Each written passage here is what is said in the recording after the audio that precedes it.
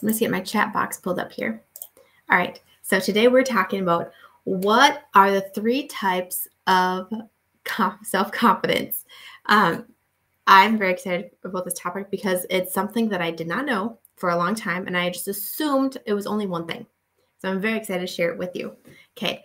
Um, but first things first, if you are new here, welcome. Hey, I'm Kaycia Ellingsen, and I help movers move and connect to people in a new place and build their life after a move because it can be like a hard thing to move to where you know nobody, you have no supports, and everything is new, and you sometimes don't know where to start. Okay. I will lead you through that process. So, hello, I'm Kaycia. I'm your guide for moving. and then, if you're catching this video live, if you want to comment, I will pull your comments up on screen when I have time. So, let's jump in. Okay. What are the three types of self confidence? So, the first type is what I feel most people wish for, and it's what I used to think was the only type of confidence. And I call this, like all these types are my wording, okay? I call this swagger confidence. It's the confidence of totally rocking it. You know all the answers, you can predict what's going to come, and it's like you're walking in swagger, like you have got this, okay? So that's the confidence you get from doing something over and over again. Like you when you really really know a subject or you've done something before um, for instance for moving if you've moved over and over and over again eventually you will develop a swagger confidence in moving. But guess what? You don't need that kind of confidence to make your first move okay so the second kind of self-confidence um, is what i call it is, is i can figure this out confidence is where you've been in a situation like it before and although this new situation is different, you're like, well, if I figured out this kind of situation, then I I can probably figure out this situation over here. So it's like a it's like it's you can pull some of the resources that you know that you already have into your new situation. So you feel a little bit more comfortable. Then here's the third type of self-confidence. Okay. This is the puke zone confidence okay where the thought of doing the thing whatever the big thing is if it's making like a big move or restarting your life after a move um, it actually makes you sick like thinking about it um, it makes you feel like you have to puke and the reason why it does that is because it's so far out of your comfort zone or yeah it's like it just makes you uncomfortable thinking about it um, but you have the confidence to say yes to that puke zone thing because you've been doing the baby steps to get towards the puke zone confidence. Okay.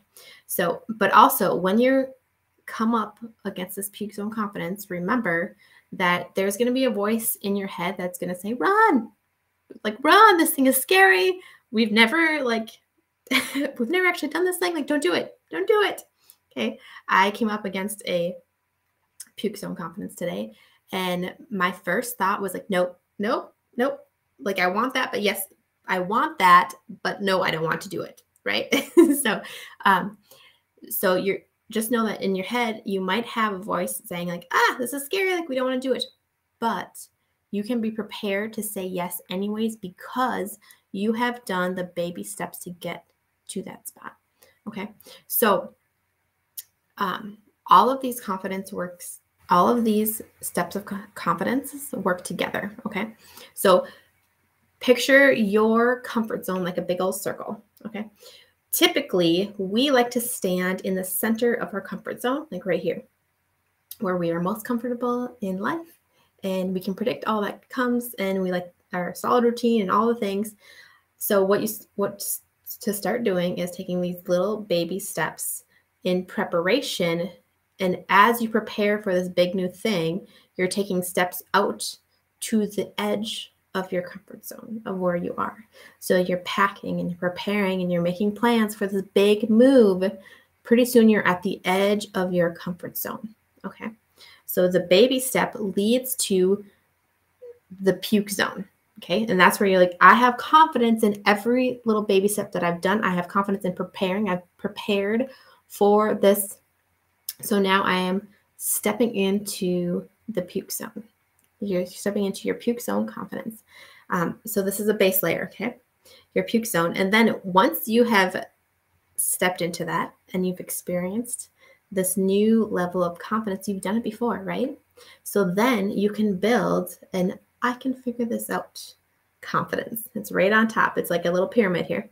And and after you've maybe moved twice or three times and you've figured it out, then you step into this swagger confidence level. And that's a level I feel like most of us want to be at, but you don't need that swagger level of confidence to start making those progress steps in your life, right? Um, here's a tip before confidence comes courage. Okay. So you don't need to feel 100% confident in order to start taking steps towards something that you want. You can actually do it when you're really scared and just say, "Okay, I'm scared, but I know this is the direction I'm go- I'm going to go or I know this is the direction that God wants me to go right now." And just start taking those baby steps. Encourage, right? So, um, if that's your goal to take baby steps towards moving, or if you just want a guide in this moving journey and the process of setting up like after a move, Homesick to Happy Movers Facebook group is the place where you're going to find lots of support and resources. And you can ask any questions you want in the group. Just come and um, ask, ask your questions, jump into the guide section. And if you're really feeling this video, you're like, oh my gosh, this is me, like this is super helpful, then jump in. And if not, that's okay too. Don't. It's it's up to you. You do you, right? But my words of encouragement for you today are if you want that swagger confidence, start by making baby steps towards your goal. And then you just keep on going, right? Keep on going till you're at the level that you want to be at. So I hope you guys are having a great day. Um, it's it's a good Monday. It, yesterday was super warm out, so I'm very happy. like we got some sun and stuff.